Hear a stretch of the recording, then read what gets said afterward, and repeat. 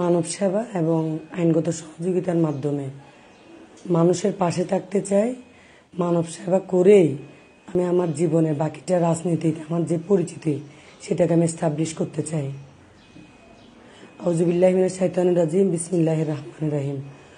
ধন্যবাদ আপনাদের B plus twenty four টিভিকে আমার আজকের আপনাদের আয়োজনের জন্য। তো আসলে আমি অ্যাডভোকেট উম্মে হাবিবা আমার, আমি চট্টগ্রাম আসন্ন সতেরোই অক্টোবর যে চট্টগ্রাম জেলা পরিষদের নির্বাচন, সেই নির্বাচনে আমি সংরক্ষিত ওয়ার্ড দুই থেকে আমি প্রার্থী হয়েছি এবং আমার প্রতীক হচ্ছে বই। তো education is the backbone of the nation সেটাকে মাথায় রেখেই আমি আমার জীবনে শিক্ষাকে গুরুত্ব দিয়েছি এবং শিক্ষিতভাবে মানে সৎভাবে এবং স্বচ্ছতার মধ্য দিয়ে, জবাবদিহিতার মধ্য দিয়ে রাজনীতির কেরিয়ারটাকে আমি এতদিন পর্যন্ত আমি এগিয়ে এনেছি। তো আমি আসলে কৃষক লীগ বাংলাদেশ কৃষক লীগ বঙ্গবন্ধুর হাতে করা সংগঠন, মাননীয় প্রধানমন্ত্রী দেশরত্ন কৃষি, কৃষক বান্ধব কৃষক বান্ধব সরকার নিচ্ছে আমাদের শেখ হাসিনার আস্থাভাজন হয়ে ইতিমধ্যে আমি বাংলাদেশ কৃষক লীগ কেন্দ্রীয় কমিটির স্থানীয় সরকার বিষয়ক সম্পাদক হিসেবে বিভাগীয় দায়িত্ব পালন করে আসছি। আমার যেহেতু আমি জেলা পরিষদের নির্বাচনে আমি প্রার্থী হয়েছি, গতবার আমি হাটহাজারি, ফটিকচুরি, মহানগর থেকে আমি বই প্রতীক নিয়ে আমি নির্বাচনের মাধ্যমে নির্বাচিত হয়েছি। আমি এবার আবারও বই প্রতীক নিয়ে আপনাদের সামনে হাজির হয়েছি।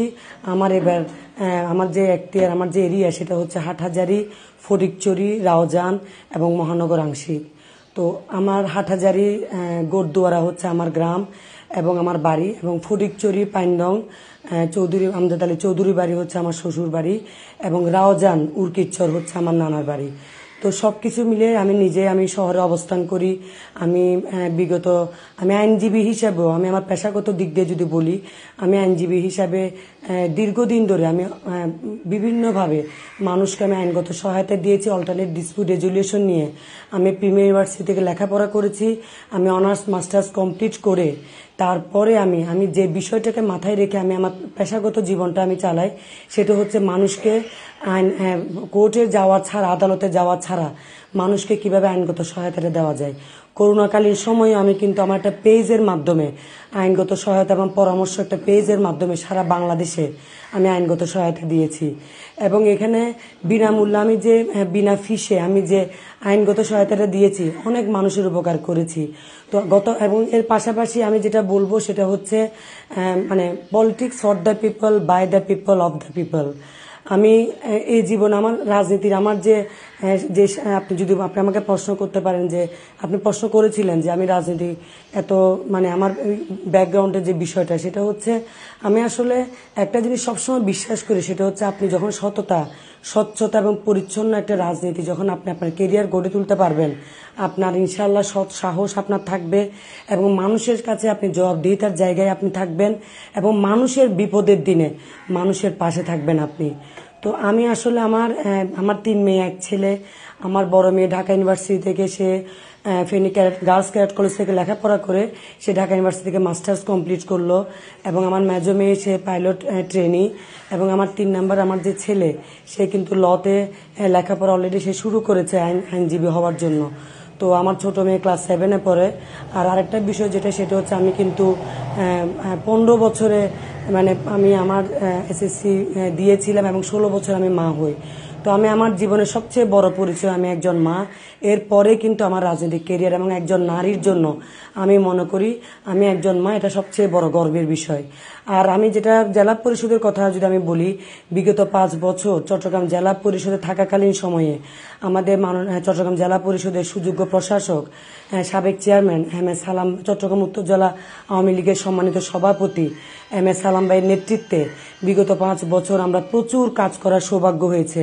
সে কাজ আমি হাটাজারি করেছি ফটিকচুরি করেছি মহানগরে করেছি। আমরা যারা মেধাবী যারা দুস্থ মেধাবী শিক্ষার্থী, তাদেরকে মেধাবৃত্তি প্রদানের মাধ্যমে এবং যারা নারী, তাদেরকে স্বাবলম্বী করার জন্য সেলাই মেশিন বিতরণের মাধ্যমে এবং যারা অসুস্থ যারা অসহায়, তাদের পাশে আর্থিক সহযোগিতার মাধ্যমে, করোনাকালীন সময়ে খাদ্য সহায়তা প্রদানের মাধ্যমে, শীতকালীন সময়ে কম্বল প্রদানের মাধ্যমে, বিগত পাঁচ বছর আমি দেখেছি চট্টগ্রাম জেলা পরিষদ মানুষের পাশে ছিল। সেইটা আমি ধারাবাহিকভাবে আমি, আমার সেই সৌভাগ্য হয়েছিল প্রতিটা কাজে আমি চট্টগ্রাম জেলা পরিষদের একজন নির্বাচিত সদস্য হিসাবে আমি প্রতিটা ক্ষেত্রে আমি সেখানে অগ্রণী ভূমিকা পালন করেছি। এবং আমি আবারও প্রার্থী হয়েছি, কারণ আমি চট্টগ্রাম জেলা পরিষদের সেই সহযোগিতাগুলো মানুষের দৌড় গোড়ায় আমি পৌঁছে দিতে চাই।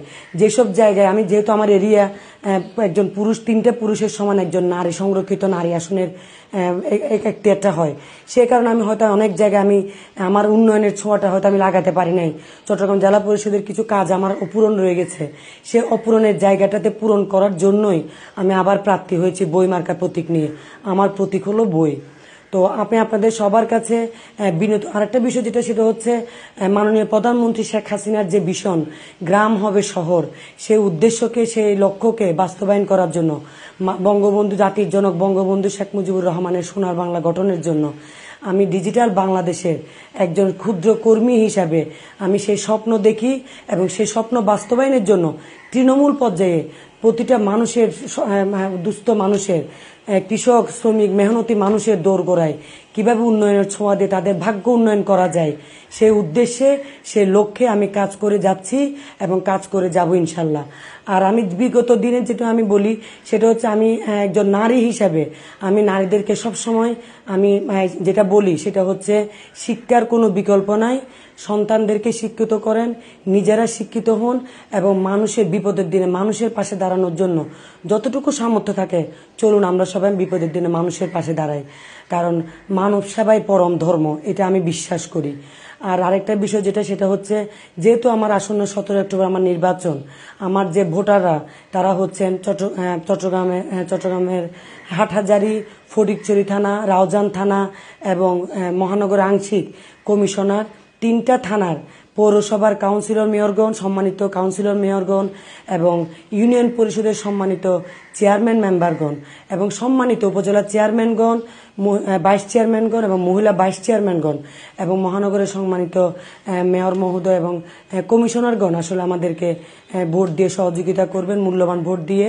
তো আমি ওনাদের সবার কাছে আমি অনুরোধ করব, সেটা হচ্ছে আপনারা যোগ্য প্রার্থীকে বেছে নিন, যাকে আপনারা যে অলরেডি হাটহাজারি ফটিকচুরিতে প্রচুর কাজ করে মানুষের মন জয় করার যে সৌভাগ্য অর্জন করেছি আমি সেই জায়গাটা থেকে জনপ্রতিনিধিরা ইতিমধ্যে আমার জন্য ভোট চাচ্ছে। এই এই জায়গা থেকে আমি বলব, আপনারা আবার আমাকে পুনরায় বইমাকে ভোট দিয়ে আমাকে নির্বাচিত করুন, আমাকে হাটহাজারি ফরিকচুরি রাওজান এবং মহানগরে কাজ করার আমাকে সুযোগ করে দিন। আমি কথা দিচ্ছি, আমি বিগত দিনও আপনাদের পাশে ছিলাম, আমি আগামী দিনও আপনাদের পাশে থাকব। যদি আমার কোনো ভুল ত্রুটি হয়ে থাকে, আমি তো মানুষ। টু আর ইজ হিউম্যান মানুষের ভুল হতেই পারে। সেই জায়গা থেকে আমি একজন মানুষ হিসাবে আমি আপনাদের কাছে ক্ষমা প্রাপ্তি এবং আপনারা আমাকে আবারও পুনরায় নির্বাচিত করে আমার সেই ভুল ত্রুটি সংশোধন করে মানুষের পাশে দাঁড়ানোর জন্য মাননীয় প্রধানমন্ত্রীর ভীষণ গ্রাম হবে শহর বাস্তবায়নের জন্য আপনারা আমাকে ভোট দিয়ে নির্বাচিত করবেন।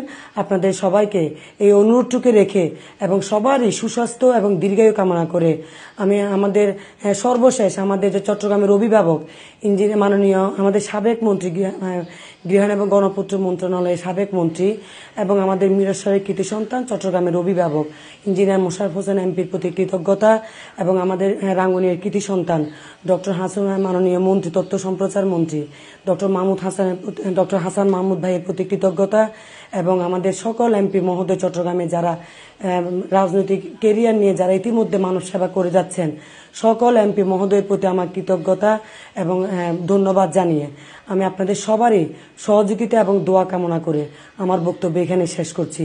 জয় বাংলা জয় বঙ্গবন্ধু বাংলাদেশ চিরজীবী হোক।